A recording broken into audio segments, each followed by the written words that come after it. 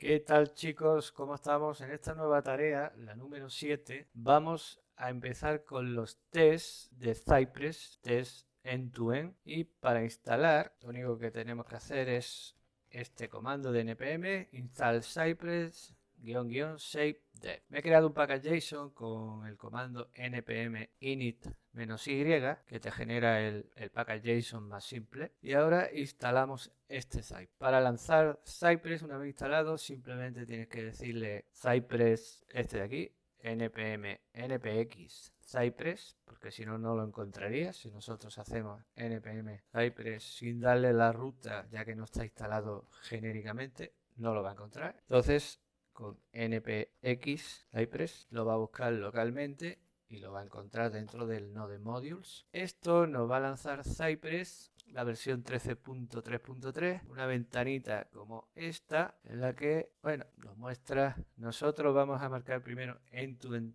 test y tenemos algunas cosas que nos ha dejado Cypress, como el el config y también una carpeta con fixtures que hay un ejemplo sample json y luego un support con un archivo para comandos y un archivo en to JS que lo único que hace ahora mismo es importar comandos. Vale, con esto no podríamos hacer ningún, ningún test porque no tenemos ninguno, a no ser que nos haya dejado algún ejemplo por aquí, a ver. No, no, nada. Bueno, pues nada, no os preocupéis. Ahora vamos a crear algunos tests para probar las cosas que llevamos hechas con nuestra aplicación blog desde Angular. Un, test end-to-end lo que significa es que yo voy a poder probar o testear la parte frontend o todo el recorrido desde la parte frontend, la backend, la base de datos y voy a poder testear eso teniendo, gracias a Cypress, como una especie de navegador similar al, al navegador de Google Chrome o el que tú elijas, pero con solamente lo necesario para hacer los tests y nada más. Lo metemos en una carpeta independiente y así tenemos pues tres aplicaciones por ahora. El frontend con Angular, el backend con NES y nuestros tests en tu. Ok, dicho esto, vamos a ver esa ventana. Vamos, no podemos hacer nada ningún test, por tanto, aquí podemos elegir el navegador que queramos. Yo elijo Chrome, que no me da ningún problema, y cuando lo lanzas, pues te sale esta ventanita. De momento, como no tenemos nada, vamos a cerrar esto, vamos a cerrar esto y automáticamente se cierra la otra. Ok, pues vamos a hacer algunos test, vamos a escribirlos, a ver cómo antes de nada en el package JSON vamos a decirle pues ya que tenemos aquí la parte de script, ¿no? Y como hemos utilizado un script que es simplemente para lanzar los tests y siguiendo nuestra forma de hacer los scripts, pues nada, eh, npm run cypress open y con eso se lanzaría el comando anterior. ¿Qué más? Vamos a ir aquí al readme, la guía que me he preparado. La carpeta, vamos a explicar un poquito las carpetas, qué significa downloads está vacía. Fixture tiene un ejemplo. El ejemplo no, lo único que tiene son datos, un JSON. Tú puedes meter en Fixture pues los datos que tú necesites. Y por ejemplo, yo podría meter ahí imágenes, algún perfil, algún usuario, usuarios que necesitemos, por ejemplo, si necesitamos crear usuarios, ¿eh? voy a copiar aquí un ejemplo que tengo. Imaginemos que nosotros necesitamos crear usuarios para hacer un test y pues nosotros nos creamos aquí un user.json y le metemos un array de usuarios con valores ya preestablecidos. Y esto lo podemos utilizar luego en nuestros tests pues, para grabarlos en la base de datos, por ejemplo, ¿eh? o para tener un mock de datos sin grabarlo en la base de datos. Vale, esa es la carpeta Fisto. Vamos a escribir algún test y vamos a ver cómo esto funciona y poco a poco le vamos a ir metiendo más carpetas aquí y cosas y las iremos explicando poco a poco. Así que voy a cerrar todo esto, todo esto y cómo sería, tenemos que crear una carpeta que no sé por qué ahora en esta versión ya no viene creada, llama end-to-end. Nosotros podemos hacer, tenerlo todo más o menos organizado dentro de carpetas con números. Los números son los, los orden, las orden, el orden de ejecución de los tests, ¿vale? Ponemos, por ejemplo, aquí User Authentication y en esta carpeta pues vamos a tener todos los tests relacionados con el usuario y la autenticación, que lo he puesto mal. Authentication. Pues vamos a crear el primer test. Vamos a llamarlo... Yo le pongo numeritos así, pues para que guarden el orden en el que yo escribo los tests. Porque como está ordenado alfabéticamente, Word, Hello World, Word.ci. Esto tenéis que poner siempre que vayáis a crear un test, la extensión .ci y luego la extensión .js o ts según lo que utilicéis. Yo voy a utilizar JavaScript directamente. Una cosa interesante o importante que no debéis de olvidar es que los tests, para que no te marque el linter errores, vamos a escribir este test primero. ¿Cómo se hace? Primero, le decimos un contexto. ¿eh? El contexto es una función que recibe dos parámetros. El primer parámetro es un texto identificativo, hello world, en referencia al test que vamos a hacer, y luego una callback dentro estará nuestro test. Before each, no sé si habréis hecho test con Yes o con Karma, Jasmine y todo esto. Es muy parecido, es decir, eh, Mocha y Chai es lo mismo que se utiliza aquí. Before each es una función que recibe, puede recibir es una función, recibe una función de flecha que puede obtener parámetros por aquí, pero de momento nosotros no lo vamos a necesitar. Le vamos a decir que cada vez que ejecute este test o todos los tests que nosotros pongamos aquí debajo en relación al Hello World, pues que visite, visit eh, nuestra, nuestra API, ¿vale? Nuestra API http puntos aquí podríamos utilizar alguna variable de entorno en vez de poner aquí el localhost 3000 barra API. Pero como sabemos que los tests están, ¿qué es esto? CSS, ¿esto qué es? cs.visit. Ahí está, ahora. Bueno, de momento no me da aquí ningún error del linter, me está dejando por, un poquito mentiroso. ¿no? It, no me cambies, yo no te digo que me cambies. Vale, este va a ser el primer test y único test de este, de este archivo. Lo voy a copiar porque tiene un texto bastante largo. Ahí. You connect with the API in localhost 3000 API and you must to see the message hello world. CI contains hello world. Vale, estamos diciendo que este va a ser el test, que nos vamos a conectar en el localhost 3000 API y que debes recibir el mensaje hello world y eso como le decimos que lo compruebe pues de esta manera debe de contener si nosotros lanzamos ahora el test sin haber abierto las aplicaciones de frontend y backend y tal, pues vamos a obtener un error. Entonces en test, le damos aquí, start test, va a ejecutar el primero y nos lo muestra aquí. También nos dice en qué sitio está el test y todo eso.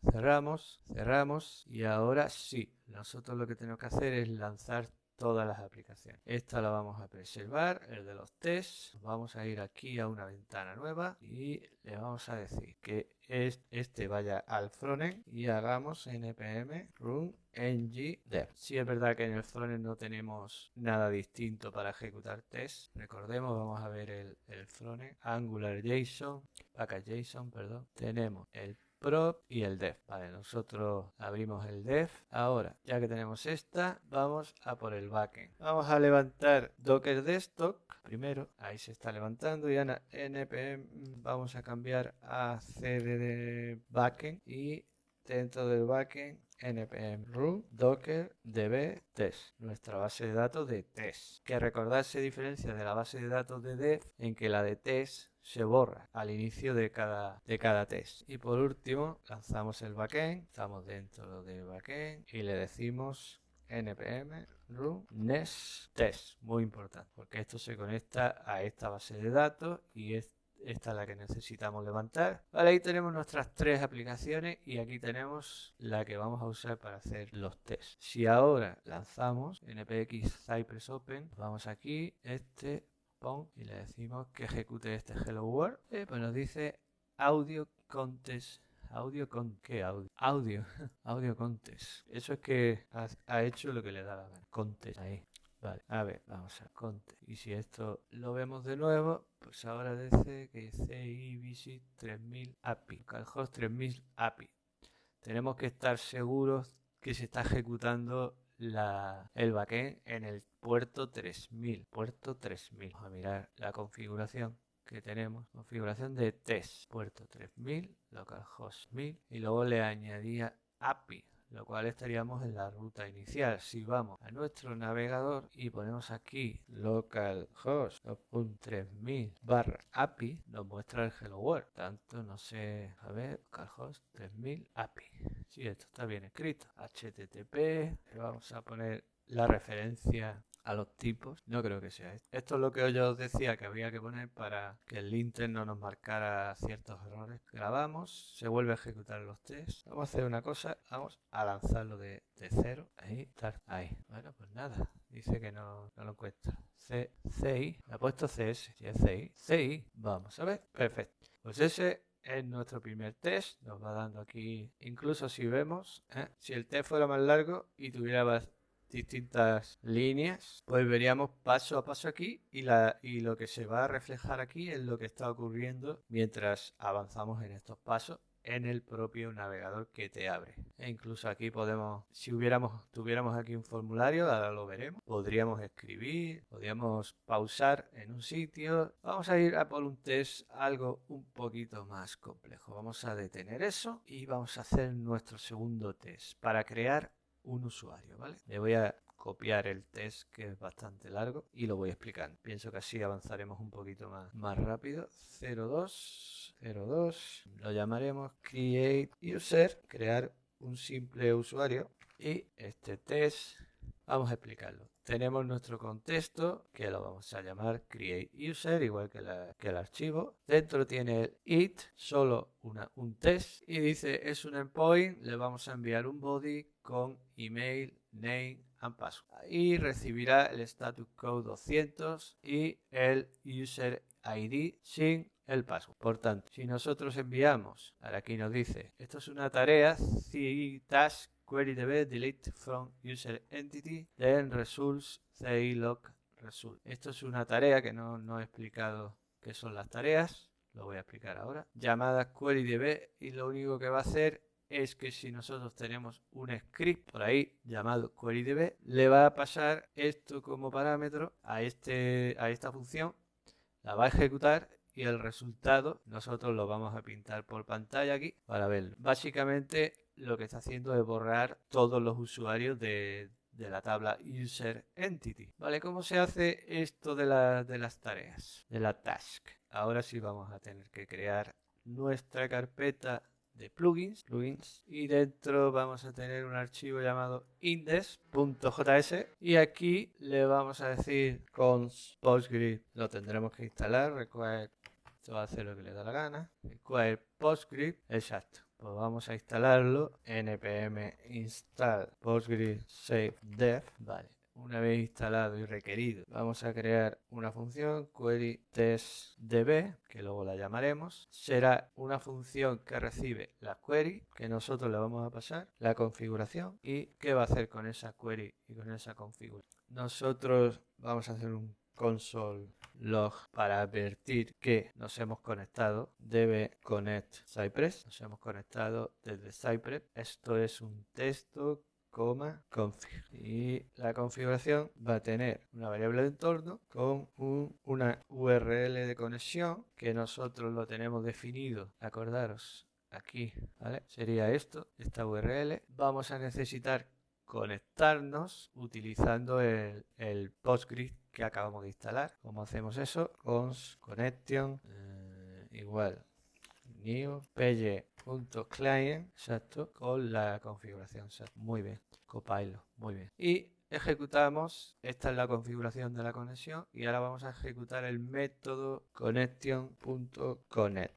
Y ya con eso estamos como si estuviéramos, conectados a la base de datos que está en ejecución en Docker. Porque le estamos pasando por aquí la URL de conexión, que ahí le dice el puerto, el nombre de la base de datos, el usuario, la contraseña y todo. Ahora nosotros vamos a retornar return new una promesa, return new promise, return new promise y esta promesa tiene un result y un rejet, exacto, todas las promesas y más o menos va a ser eso, más o menos, tampoco. Entonces vamos a poner connection.query le vamos a pasar la query que nosotros recibimos y esa query tiene dos parámetros. En primer lugar la query que nosotros recibimos y en segundo lugar una función de flecha donde tiene primero algún error que pueda surgir o los resultados. Los resultados de ejecutar la query. ¿Ok? Esto pues va a ser así. Y nosotros le vamos a preguntar que si viene algún error, si viene algún error, ejecute el reject error, exacto, y si no, else, pues cerramos la conexión, que ya no la necesitamos, conexión en, y return resolve result. Ok, vale, con este plugin necesitamos exportar, lo pasa es que aquí hay algo que falla. Falta cerrar este de aquí. Module.exports igual a una función igual a una función de flecha que recibe dos parámetros on y config. Vale, y este on es parte del contexto de los tests. Se ejecuta la tarea, vamos a llamar task, coma, y recibe un objeto exacto que consiste en query db dos puntos, función de flecha. Esto está en la documentación de cómo crear plugins para Cypress y también en la, de, en la descripción de la conexión en este, en el npm de la instalación de Postgres, te viene cómo se hace la conexión. Vale, pues esto lo que nosotros queremos es que retorne la query testdb con esa query que recibe y con el com, nada más. Nosotros estamos exportando esto. Cuando haya un test y se solicite el plugin querydb, va a recibir una query y va a ejecutar esta función que es la que tenemos aquí arriba. Y esta función de arriba lo que hace es conectarse a la base de datos, borrar, bueno, borrar o escribir o lo que haga falta. Es decir, nosotros estamos conectándonos a la base de datos y desde Cypress le estamos diciendo escribe, lee, borra lo que necesitemos para cada test. Y con esto tenemos ya un acceso directo a cualquier query que se nos ocurra. Lo único que necesitamos para que esto funcione bien es hacer alguna cosita por aquí en el Cypress config, que es ponerle esto de aquí, ¿eh? porque aquí si no los, los plugins ni siquiera los, los lee. Entonces le decimos que los plugins están dentro de Cypress, la carpeta Cypress, plugins in the JS, y ahí le enviamos el on y el con. Con esto, perfecto. Con esto ya nosotros podemos ir a nuestro test que estábamos haciendo, este de aquí, y entonces aquí estamos llamando a la tarea llamada querydb. ¿eh? Recordar que nosotros hemos llamado a la tarea QueryDB. Nosotros podemos tener aquí tantas tareas como queramos. Y esta tarea QueryDB va a recibir una query que va a ser esta. Delete from user entity. Cuando le ponemos delete y no le decimos el qué, lo borra todo. Y después de ejecutarse, recordar que tenía un reject y un resolve. Y ese resolve devolvía los resultados y nosotros somos capaces de escribir esos resultados en pantalla. Y hago el log en vez del console log para que lo pinte en la, en la propia pantalla de que nos presenta Zype, no aquí abajo. Vamos a seguir con el test porque ahora estamos creando una request, una request para enviar, hacer una petición y en esta request, y esto se hace así, ci.request se abre paréntesis, le mandamos un objeto, el cual tiene el método, le decimos que es post con mayúscula, la URL donde se va a ejecutar esta request o el endpoint que va a ser este. Formulario no tiene, ¿eh? nosotros estamos haciendo un envío por nuestra cuenta, sin utilizar un formulario desde la vista. Eso es lo que significa el for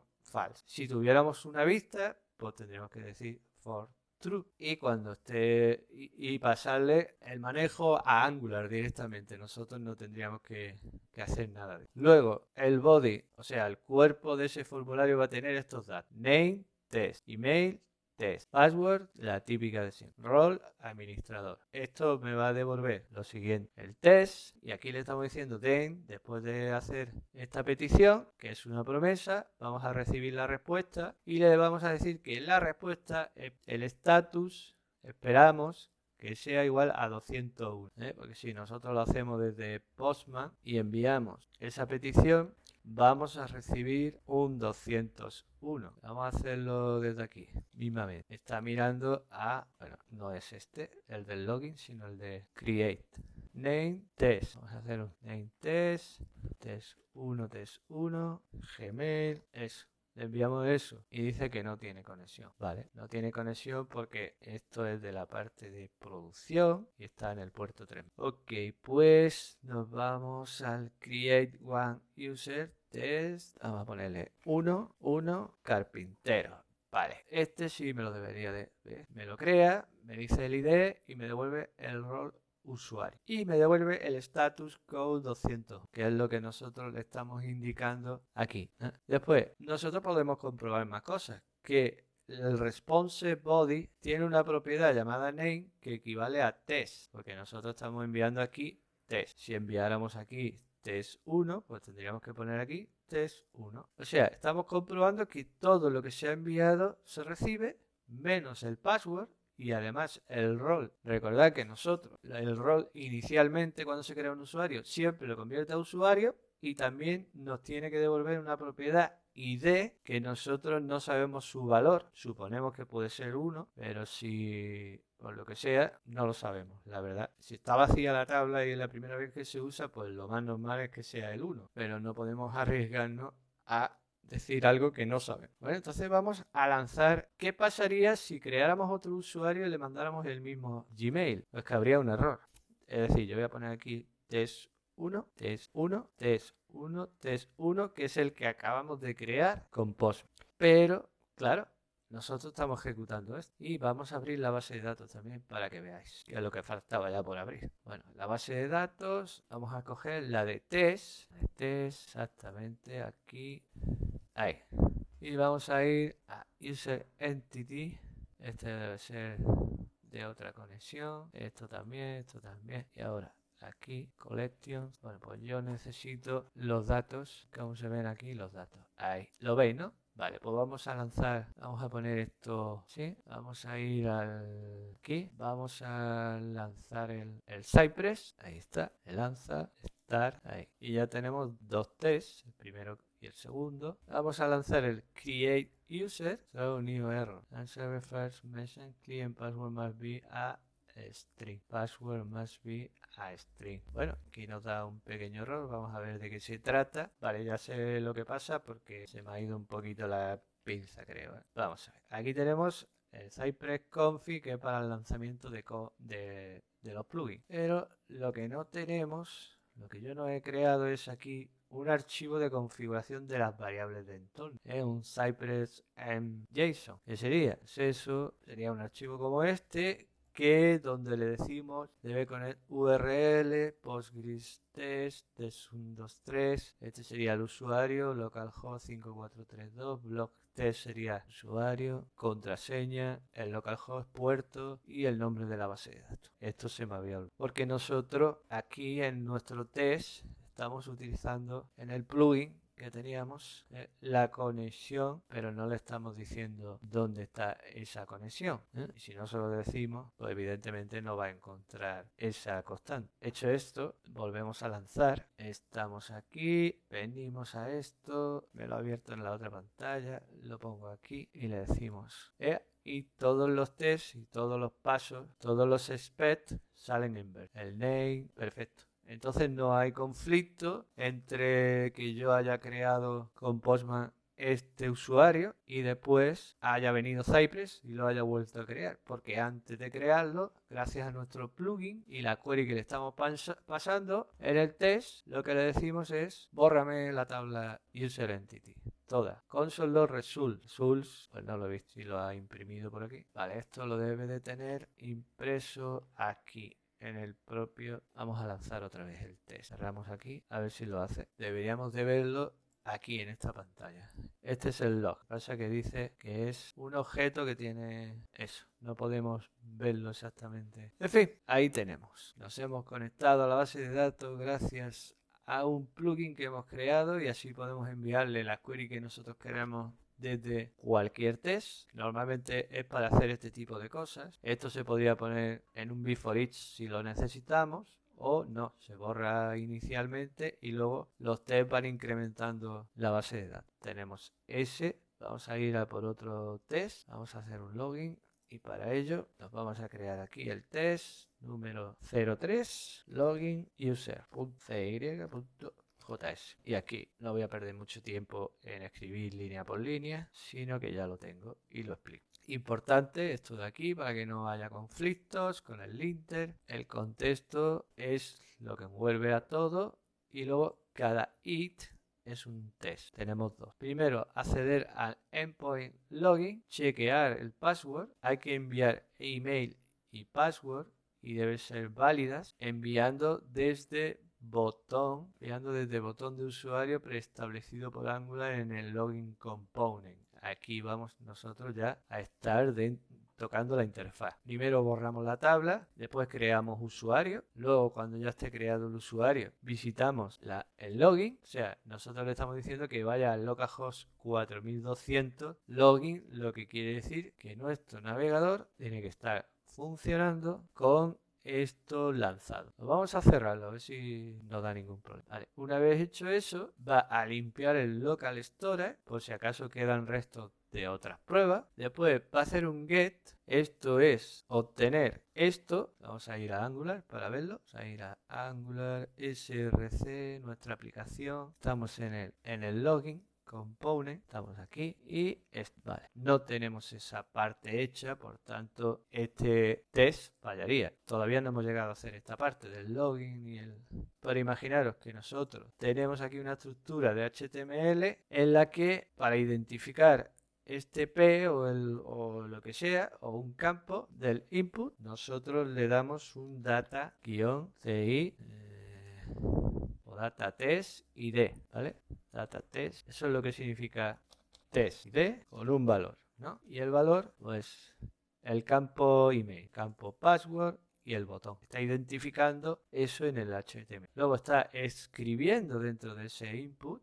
Type es para escribir dentro, dentro de ese elemento que es un input. Está enviándole el usuario, el email del usuario y la contraseña y luego lo envía. Cuando lo envía, esto es una promesa, recibe una respuesta y ahora obtenemos el local storage dándole tiempo a que Angular reciba la respuesta y grabe en el local storage el token invocamos a get item del local storage y obtenemos el assets token y comprobamos que existe y ya está con eso habríamos hecho un login perfecto. Este sería enviando datos del login desde Cypress. Primero, visitamos la página localhost 4200 login, borramos el local storage, preparamos, es decir, aquí no vamos a utilizar la interfaz, sino que lo vamos a hacer directamente desde Cypress sin pasar por Angular. Entonces creamos el método post, así veis las dos formas de hacerlo. En la URL, el font false, body, con los datos, then se envía esta request, luego envía, esto es para crear el usuario, hacemos después de crear el usuario, por eso es el then, hacemos otra request para el login. ¿Eh? Aquí estamos en users, y aquí estamos en users login. Enviamos el email y el password que hemos puesto aquí y recibimos una respuesta y debemos de recibir un status code 201. Vamos al local storage set item haces token la respuesta que nosotros recibimos, que se supone que es el token, está aquí dentro, y luego pues accedemos a ese local store, la invocamos, le pedimos que nos traiga este y vemos que existe. Es normal, si le acabamos de decir que lo grabe, normal que exista. Deberíamos de comprobar que este responsive body es igual a este. ¿eh? Eso es lo que deberíamos hacer aquí. Vale, esas son las dos formas de hacer una comprobación de login a través de la interfaz, primera, y la segunda sin interfaz. Todo esto, claro, va a fallar porque no tenemos el HTML y no va a identificar. Y no tiene sentido seguir haciendo test cuando no tenemos todas las partes de Angular desarrolladas. Esta clase o esta feature o esta tarea número 7 simplemente era para instalar Cypress, ver cómo se configura, cómo se crea un plugin, cómo se utiliza, cómo nos conectamos a la base de datos, cómo lanzamos nuestros tests, qué tipo de tests se pueden hacer. Y cuando tengamos esa parte de, de Angular, el login, el register, todas las vistas que necesitamos del usuario y del Authentication, incluso de la parte de administrador, volveremos aquí y realizaremos todos estos tests. Por ahora, esta clase, pues ya tenemos una una pequeña base de cómo hacer test en tu en con. Espero que os haya gustado y os espero en el próximo vídeo.